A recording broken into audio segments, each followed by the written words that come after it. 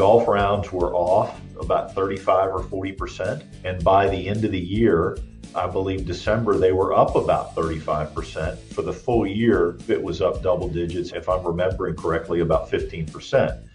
As we entered this year, we've kind of seen that behavior stay. Well, like we haven't entered the really busy period that we kind of once courses started opening again, but we think the first half of the year we're going to see a lot of growth.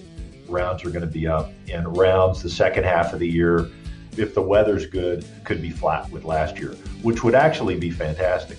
For our business, that means our business is going to continue to grow because the e-commerce changes, the kind of the shift from buying in a store to buying online. Golf behavior may go back to doing other sports and other things. I think the shift to e-commerce, which certainly benefits us, is a permanent change. Golf Smarter, number 790. The business of COVID golf, where the industry has been and where it's going, with Tom Cox of golfballs.com. This is Golf Smarter, sharing stories, tips, and insights from great golf minds to help you lower your score and raise your golf IQ. Here's your host, Fred Greene. Welcome to the Golf Smarter podcast, Tom. Great to be here, Fred. Great to have you on. Um, you're one of those interesting characters that I like to bring on the show every so often, and more often, than I hope, because you have a different perspective of the golf world. You come to it uh, from the industry side, not the green grass side. I'm a particularly mediocre golfer. Uh, I love you already. But, but I've been in the golf business for, for over 30 years. I actually started in uh, in golf course management uh, at a country club but not in the golf, not in the pro shop side, kind of in the administrative side, which is which is why I still carry a 15 handicap.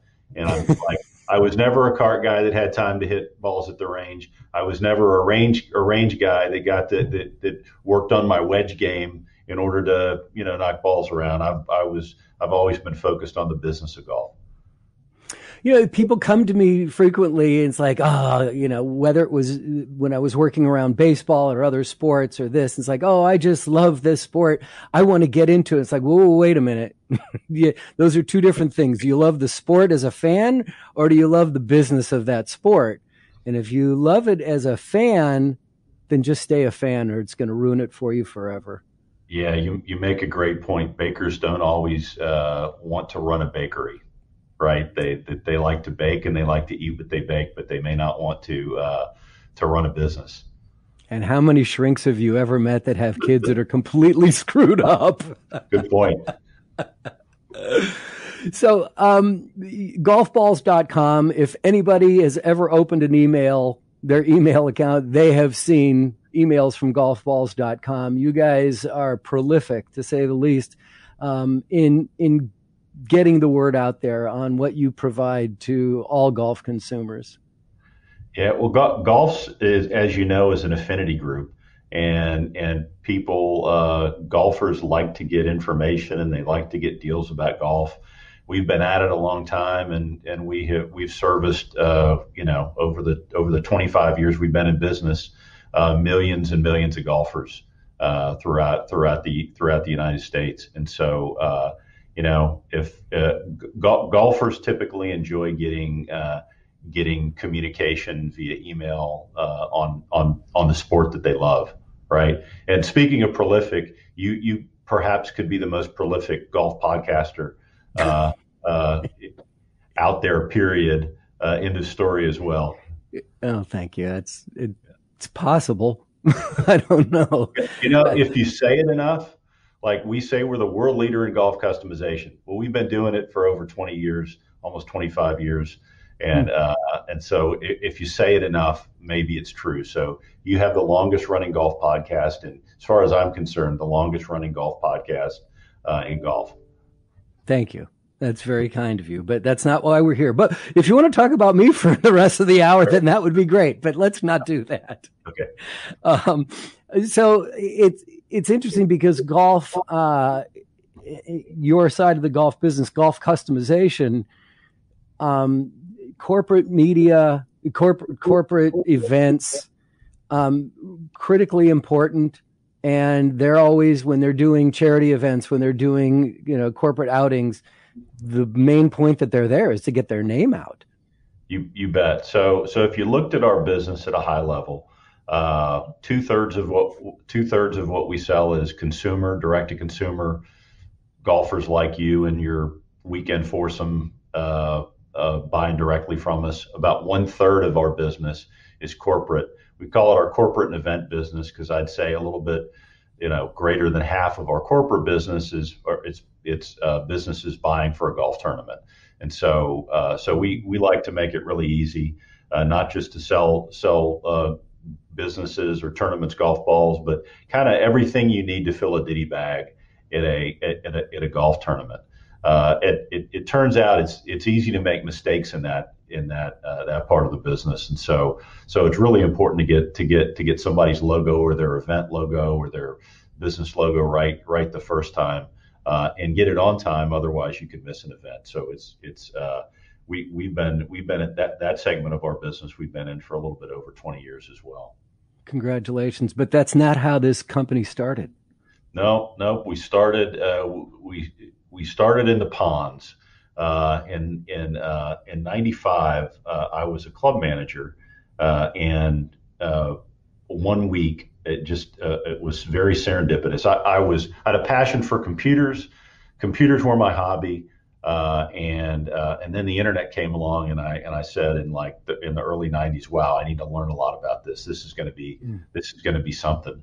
I didn't quite know know where to marry that up to a business. I don't know that anybody did in like '93 or '94, unless you were AOL uh, and and you were you were some kind of a service provider.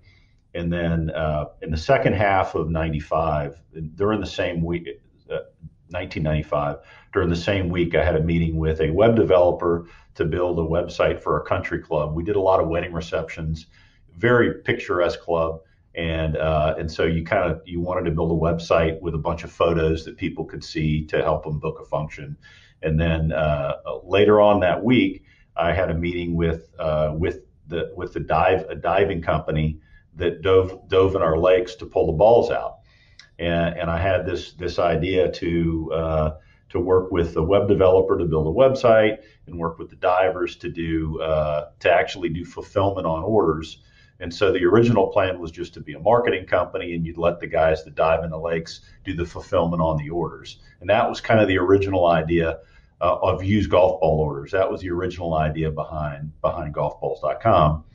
We quickly learned that uh, that well, stand, turnaround times weren't really important in, in early in 95 and 96 if it got there it, at all uh, you were you were doing pretty good. But we learned as as the buying standards improved uh, we we needed to bring all of the fulfillment in house because because ultimately ultimately a differentiator in business is service. I was from in the club management business and so service was very important to me. We kind of took took the fulfillment out of the hands of the divers, which, by the way, they do a great job pulling the balls out of the out of the lakes. But it's not a real priority to take your package, sort it, grade it, package it up, and ship it out in a, in a timely manner. So we brought that in house, uh, and we we started. We became a, a pretty large used golf ball processor. Uh, and it and and uh, and that was really our business for the first two or three years. So if you look at look at what we did from 95, 96, and 97, uh, it was it was almost exclusively uh, in in the used golf ball business. Um, in '98, we uh, we we started transitioning to new products and even even customized products. So we we bought a printer, some printing equipment. We we started making logoed products available for sale on our website and uh, and in, a, in, around 99 2000 is when we started doing uh, selling personalized you know personalized golf balls online direct to consumer and doing doing printing on that as well. Um, it's an interesting story what, why we got out of the uh, out of the used ball business.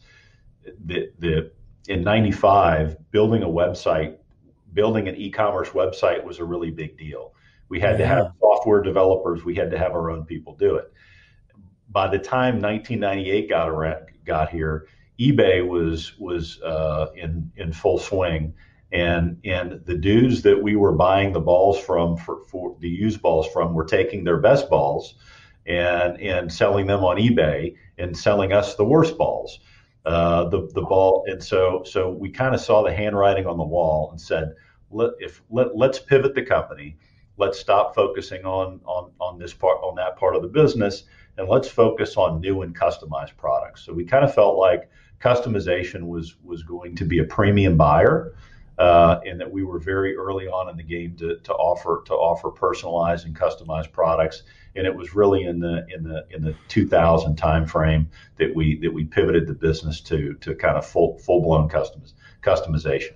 And when I say customization, I mean not it's not just balls. It, it's mostly balls, but it's it's towels, it's shirts, it's golf bags. It's it's you, you can't imagine how many divot tools we personalize in a in a day.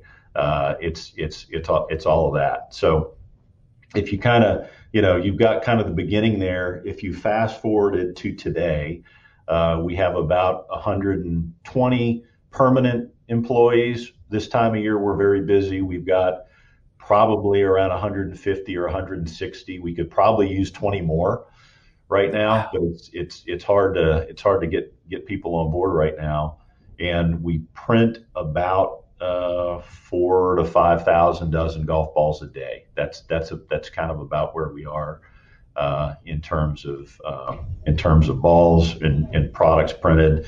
We're probably shipping between a thousand and fifteen hundred packages a day or so, and uh, and so that that that's the short that's the short version of, of how we how we got from from there to here well, you know, I think a testimony to how you've been able to uh, listen to what your customers are demanding, seeing what's coming up, uh, is the fact that you're in this cavernous room right now, and it sounds like you're in the back of it, um, because this is a large conference room that is your personal office. That's very impressive. Well, the, this we used to have a lot of meetings in this room, and uh, and since COVID, that was uh, yeah. Our meetings are like this podcast. we're, we're, we're, uh, we're, we're meeting we're meeting over uh, over a computer. You make a really good point, though.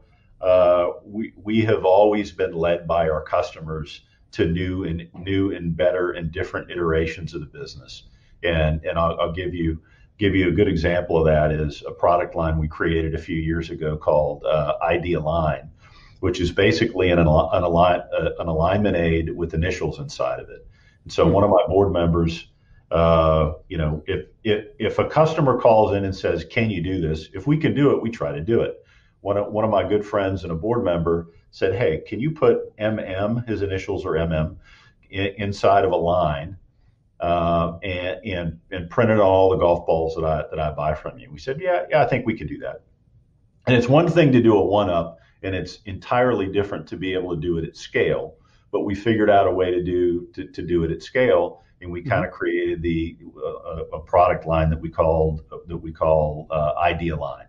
Uh, more recently, uh, and this is I would say if if if you know if if a golf e-commerce business can have a killer app, this is our killer app. It's called Align XL, and that is uh, that's a line printed halfway around the ball but you can print your name inside of the uh, inside of the line. It's it's pretty cool. So if you watch yeah. tournament golf, which everybody listening to this to this podcast absolutely watches tournament golf, about half the guys have you use a they use a sharpie and they and they smudge a line halfway around the ball and uh, and and as we know since we've probably done it ourselves, it smears, it comes off, it's not well, we we we invented some equipment to be able to print that at scale, uh, consistently, nearly perfect every time, and put a name in it inside of it. And so, kind of that same tour proven, you know, tour validated line halfway around the ball is is a product line we we, we launched a couple years ago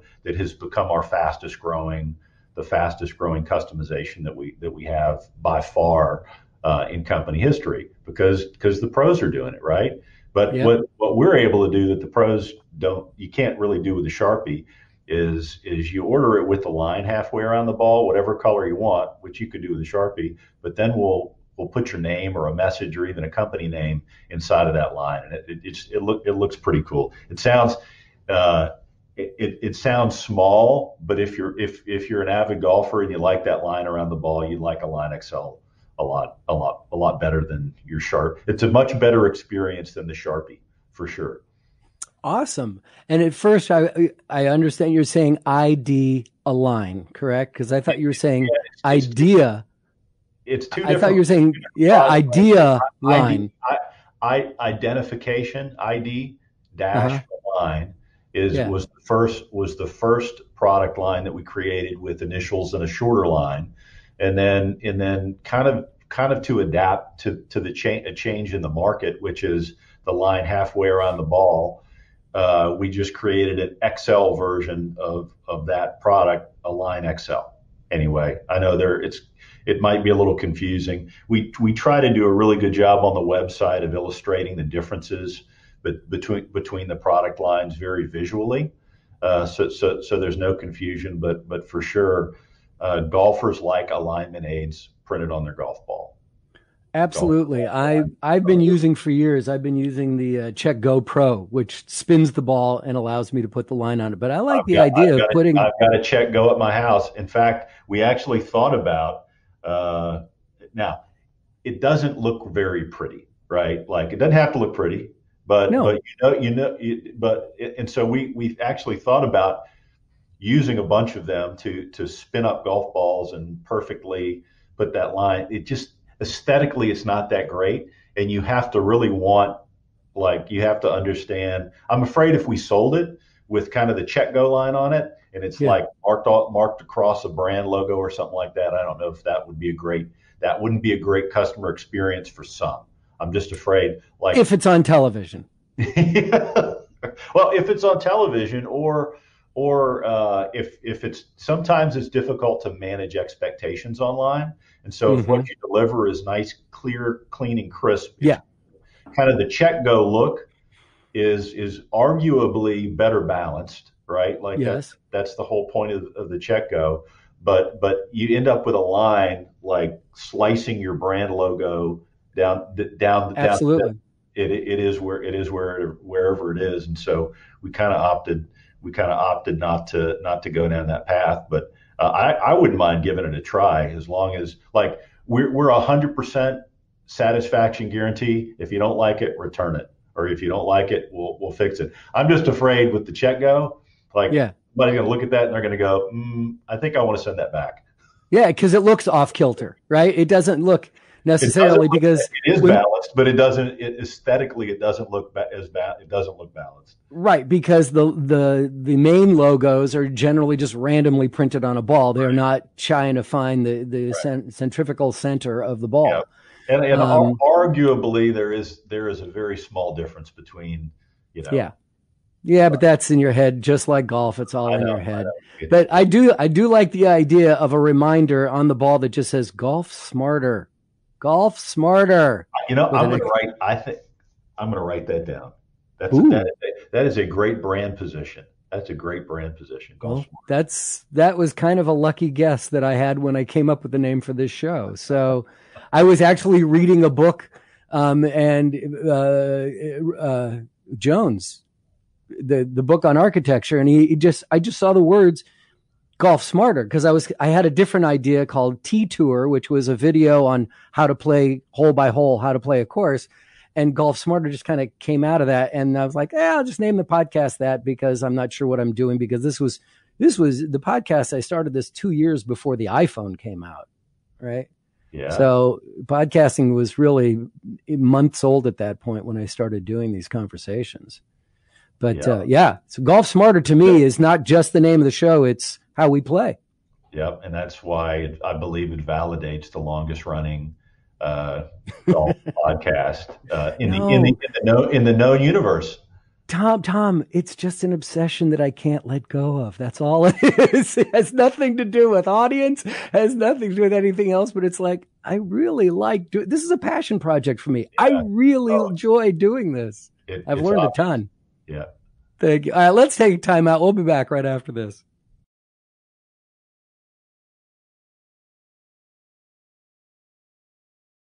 Tom, I'm curious when you travel, and you're on an airplane and you get into that random conversation with somebody, do you tell them what you do? Boy, that that's a that's a good question. Um, if I, I had a friend, I had a friend who was a baseball executive, and he didn't like talking to people on the plane. And he like once you say, "Oh yeah, I, I'm vice president of a baseball team," they're like they'll talk to him for hours trying to get free tickets. And so he's like, and he said, "I sell insurance." Boom, end of conversation. you know, if the if the person is conversational, uh, that that t- typically if someone is uh, looks like they want to be left alone, I will absolutely leave them alone. I will. They they they won't they won't hear from me. Uh, if they seem to typically if they're a golfer, uh, at some point along the ride, they're going to talk about golf. And if they if they talk about golf, I'll talk about golf with them, and I'll talk about. I mean, I may not talk about the business, but I'll but I'll but I'll talk about golf. And if if it seemed like it, it seems silly to say this, but but a large number of people that I that I have met that are that are golfers have bought golf balls from golfballs.com before. Like it's it's amazing. Awesome. It, it's it's a wonderful experience if I can meet, you know, run in randomly run into somebody and they and they tell me, yeah, yeah I've been a customer of yours for for ten years. I go, wow, like I I I think that's pretty cool. And so that that can I buy you a drink? yeah, that leads us down a really you know a, a, a really neat humbling conversation because because it's just neat to be able to find people. The first thing I ask is how was your experience with us? And if they bought from us 10 times, it's it's been pretty good, right? Like they the first thank you for your business and and uh, how was your how was your experience? And then we just kind of talk about talk about golf stuff. So, what kind of great stories have you heard on the golf course, or that you have personal experiences from being on the golf course? It's like, I can't believe that happened, or just craziness. I, I just love um, these kind of stories. I, I, I unfortunately don't play nearly as much golf. Like late with with a with a three year old lately, I haven't uh, I, I haven't been able to play a whole lot of golf. But now I'm configuring my backyard to be able to uh, play golf in my backyard because it turns out if you have a three year old, you can do whatever you want in your backyard, uh, right? E- even even play golf. Uh, with that. Little boy or little girl? Uh, a little boy named Thomas. Uh, he's very he's very active. Uh, he he doesn't he doesn't take my instruction very well. He takes other people's instruction extremely well. Welcome to father. We, we learned that with soccer. We learned that with swimming. Uh, and uh, and so uh, he needs a golf instructor. So far, all of the instructors have worked very well except except, except mom and dad, and that and, and that hasn't worked out so well.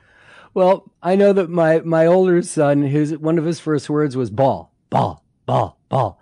Was was Thomas's first word personalized ball, personalized ball. uh, I, I can assure you, one of his first toys was a golf ball. Oh yeah, with his name on it. And he and he tried to chew it, uh, but then but then when his mouth got big enough to fit the golf ball in it, we took you know took it away, and uh, we we didn't really do that. But he did. He has he has been around golf balls his whole life, as you as you might imagine.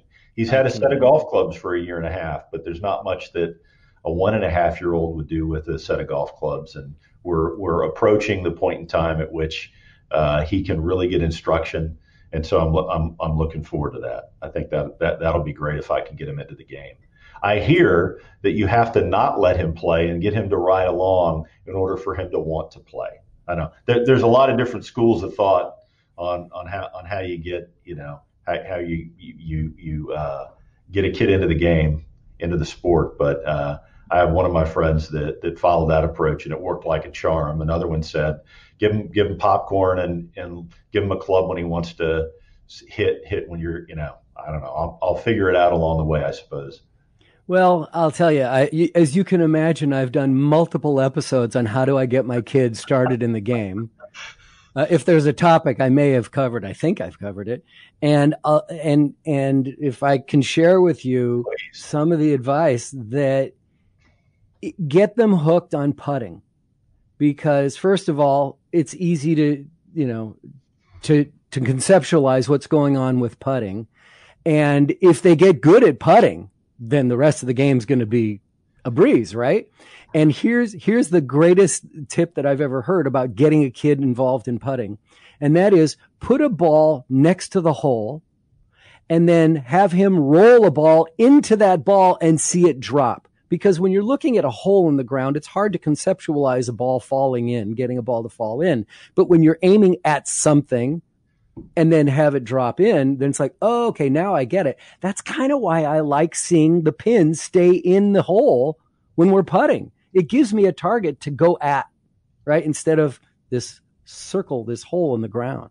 Yep, that's some that's some great advice. Uh, we we just got the hitting mat for the backyard. Mm-hmm. We'll soon mm-hmm. get the putting green for the backyard, and when we do that, we'll be we'll be set. Yeah, I've got a putting green in my backyard, and little kids that when when when friends come over, they just like to have one of those long tubes that holds a bunch of balls and let the balls fall out, and then they refill the, the tube back in. but just rolling the ball around, getting that feel. Yeah, but the that, thing that, that, we have to that's teach a great them, suggestion. That's a great suggestion.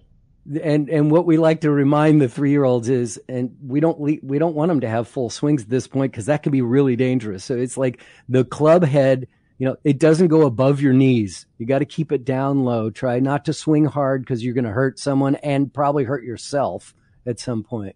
So yeah. putting is just a, such a great way to get little ones started in the game. Fantastic idea. I, I was going about it the wrong way. He was he had his little uh, I don't know what it was a pitching wedge looking iron, uh, and I yeah yeah he's it's he, he's a year away from doing something with that I think. Oh yeah yeah yeah, unless you know Tiger, you can go through the right. Tiger thing, but then look what happens. Okay, so, yeah, that's, that's but I've got it listen. If you like that stuff, I've got a podcast for you to listen to. I, I, I, totally will. I may have to go back ten years, or twelve years, or fourteen years, but but I'll do that. Then let me introduce you to Golf Smarter Mulligans. As a matter of fact, let's take a timeout right now and hear what's on the Golf Smarter Mulligans this week. This is the last week we'll be featuring Tony Manzoni on Golf Smarter Mulligans for 2021. Uh, based on the year to year reaction, I can pretty much promise you that we'll do it again next year and hopefully bring back some episodes that weren't featured this year since we did, I think, 13 episodes together and we've only featured, what, nine over the last few months. This week, Tony employs his years of experience and what he's learned from his amazing contacts to teach us like no other. Lee Trevino once was talking about playing with Nicklaus and how far Nicklaus hit compared to everybody else. And he says, so when I played with Nicklaus, I would try to hit the ball 230 yards off the tee. And when I did that, I hit it about 270. But when I tried to hit a 270, I hit a 230. That's just such great wisdom because that's so much the truth. How many times have we got up on a par five and it's a long one, so we're going to give it that extra, and we throw it from the top and we get a little steep with it, and we pop it straight up in the air like a wedge, or we hit it way right or way left. There's a speed that you have to get used to with the driver, and a lot of it has to do with defocusing on any thought of hitting and swinging from point A to point B in a rhythm that you can keep your balance. And if you do that with the driver, you're going to keep the ball in play most of the time. That's Tony Manzoni on episode 106 of Golf Smarter Mulligans being released this Friday. Even though this is the last time you'll hear from Tony this year, we still have the most extensive information about him on our website at golfsmarter.com slash Tony. His book, The Lost Fundamental One Simple Move Better Golf Forever, is available on Amazon, and his DVD of the same name can only be seen online through our private channel. To gain access, please write to me directly by clicking on the Hey Fred button at golfsmarter.com. Both Golf Smarter and Golf Smarter Mulligans are free and available wherever you get your podcasts. Please follow both so that you can get a brand new episode of either when it downloads to your favorite listening device.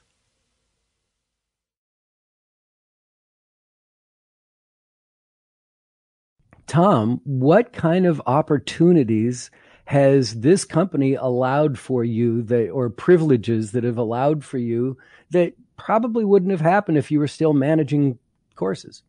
Whoa, that's a, uh, there's a lot of different angles on this one.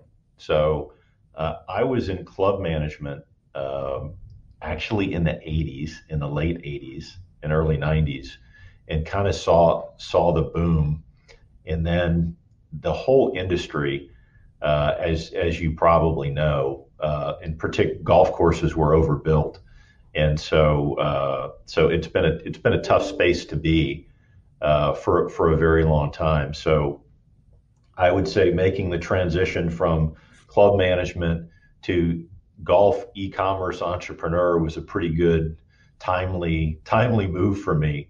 Uh, and not that I didn't love club management, it's just that the industry the industry kind of flatlined uh, for for for a while now. It's in it's in a great it's in a great uptick right now. Um, I, I, think for me, uh, it has allowed me. Number one is probably people. It's it's enabled me to to both work with. Uh, I've got an incredible board of directors uh, that I work with. They're, they they love golf. They're accomplished entrepreneurs on their own. We've got an incredible staff here at golfballs.com. Many of them have been here 10, 15, 20 years. Uh, so some of my senior leadership has been here has been here uh, for that long, and that's just that's kind of kind of the kind of the business business piece. And then, as you know, if you're in the golf business, it's just a fun business. Like like once a quarter we'll take a I'll, we'll take a trip to go see a manufacturer Let, let's let's kind of take covid out of the picture here but, but, before covid about once a quarter we would we would either go go on a trip with with manufacturers or go to a special tournament somewhere uh, and and have a have just an incredible experience at a uh, you know FedEx St. Jude Classic or uh, we're actually playing now that pro-ams are back in. I've got a board of directors meeting next week, and we're playing in the Zurich Pro-Am in New Orleans next week. Like, what's wow. what's not what's not great about that?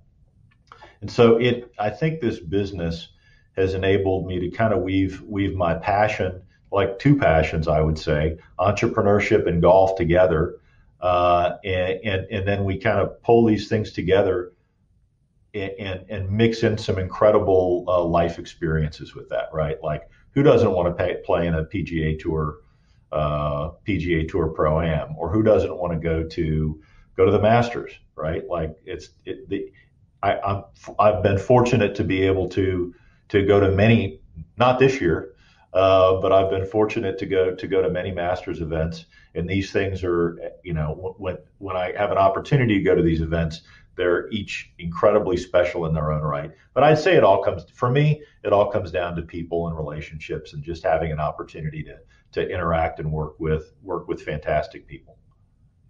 It's interesting because when I wrote that question down here to to discuss with you, my question I wrote right after it: Have you ever played at Augusta?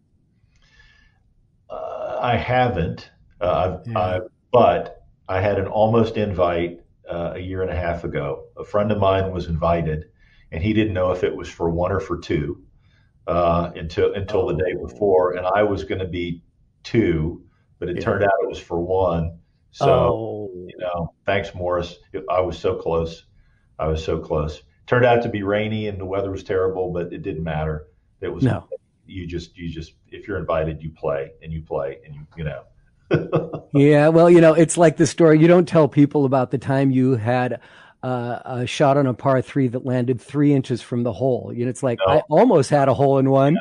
No, you either did or you didn't, right? It's yeah. May, maybe sometime in the next in the next five years or so, I'll get a chance to play play Augusta. That would be a great experience. Can I be your number two? just in case. you could be number one and let me be your number two. Oh no no no no no no! My corporate executive son is a lot closer than I am than he, than than uh, of of getting the chance to play there. He even asked me last week, "What are the chances you think of me playing Augusta?" I said zero, and he goes, "Really? Okay, okay, I'll give you one percent chance." But he gets invited to play. You know, he, commercial real estate. He gets to play everywhere. Um, so, so it's been a fascinating. You talked about the uptick in yeah. in the industry um, that we've had uh, from 2020, and so many people going out. But now with people getting vaccines, and and it seems like we're getting close to being. Well, it'll never be what it was. This will always be part of our lives. Um, but where do you see the state of the industry uh, in the next 18 months? Yeah, so I'll I'll uh, I'll kind of back up a little bit and walk you through. We we typically grow uh, 10 to 15 percent a year. That's kind of our normal cadence of uh, of growth. Uh, from you know, we grew a little bit more in the early years of the company, but we're normally in the 10 to 15 or 10 to 20 percent growth range. We entered uh, pre-COVID last year in that you know in that same in that same growth growth range. Then COVID hit, golf courses closed, and it was it was like a 30 day uh, it was 30 days of shock. Everybody went through it. Like it's not it's not unique to us. Everybody went through it. And then something interesting happened after about 30 days. Uh, the golf courses started opening, uh, and, and, very quickly, and tournament golf started up on TV again, and and a wave of people that that that uh, couldn't do it really couldn't do any much else decided that they they wanted to get on the get out on the golf course. Simultaneous with that, a lot of the stores were still closed. Golf courses were open and stores were still closed. So our business took a nosedive, and then and then very quickly just just shot up like a rocket. Our biggest problem, uh, the biggest challenges that we had, we we were it, it was difficult to well we we always do our best to manage employee safety, but we we had some restriction restrictions on us where we could have we could only have eight people in the building at one at the same at the same point in time, and we're trying to get get orders out of the building with printing and shipping and eight with with eight, eight people at a time. Mm. So, so so if you get like last April, uh, golf rounds were off, I believe, about 35 or 40 percent on a year over year basis, and by the end of the year, I believe December they were up about 35 percent for the full year. I believe it was up double digits if I'm thinking if I, if I'm remembering correctly about 15 percent as we entered this year, we've kind of seen that behavior stay. Well, like we've seen, we haven't entered kind of the kind of the the the, the really busy period that, that we kind of once courses started opening again, or about mm-hmm. that enter that period. But but we we think uh, the first half of the year we're going to see we're going to see a lot of growth. Uh, rounds are, rounds are going to be up, and and rounds the second half of the year uh, will prob you know again it's prognostication right probably if if if the weather's good in the second half of the year rounds uh, rounds could be flat with with uh, with with last year which would actually be fantastic for our business that means our business is going to continue to grow because uh, the e-commerce changes the kind of the shift from buying in a store to buying online uh, that the, the golf behavior may may change, may go back to doing other sports and other things. I think the e-commerce, the shift shift to e-commerce, which which certainly benefits us, is a permanent change. I think we picked up a few years of, of e-commerce growth during the pandemic, and I don't think I don't think that that's going to go back. So so I no, I think, it's not a bad not a bad place to be the Amazon of, of golf products. Yeah, and all, all of our all of our manufacturers, uh, and this is without exception, are running into uh, are are having inventory issues, right? Like you've got you've got ships that are stuck that are in route here. You've got, you've got, you've got more demand than than, than they than they than they have seen, and so uh, it's a it's a pretty regular conversation. Again, not with one, it's with all of them about about about in, in, in, which which is a which is a good problem to have. It's a problem, but you'd rather have not enough inventory and, and a lot of demand uh, than, than than way too much inventory and, and a lack of demand. Uh, there, there's a lot of good data in the market, data out there that that suggests that that that kind of on a weather adjusted basis, demand is still as high as it ha- as it was uh, during the during the height of the pandemic. Uh, Unbelievable. So, so, it's uh, it, it's pretty exciting to see that. Uh, it remains to be seen how long how long it runs, uh, and if it continues to run when when uh, stadiums are at hundred, you know, are at full capacity, restaurants are at full capacity, and everything else is is is wide open. But all those other distractions come back, right? All the, right, right. Uh, but we'll, you know, uh, once behavior changes, though, uh, if is what what the industry is hoping is that is that the good experiences that they had re-engaging or engaging for the first time playing golf uh, will, will, will, will keep will keep them a golfer, right? They'll they'll they'll, they'll remain a golfer uh, even with the other the other alternatives out there.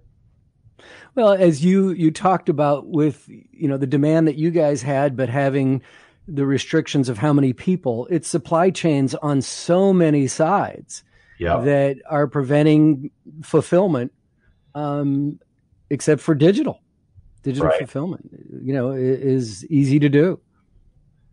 Yep. Unfortunately, we can't digitally fulfill right golf hardware. Golf. We're we're working on that. That's I think I think uh, look look look to that from us in, in the next uh, 40 or 50 years we're gonna you know teleport you know i'm just kidding that was yeah right and and you realize that your your son's bad, not bad gonna joke bad joke but you realize that your son was probably not going to need a driver's license because by the time in the next 13 14 years who's going to be driving a car except the car driving itself yep that's true he does like cars though i'm glad he likes cars oh, cars and balls you must have a boy yeah, it's true.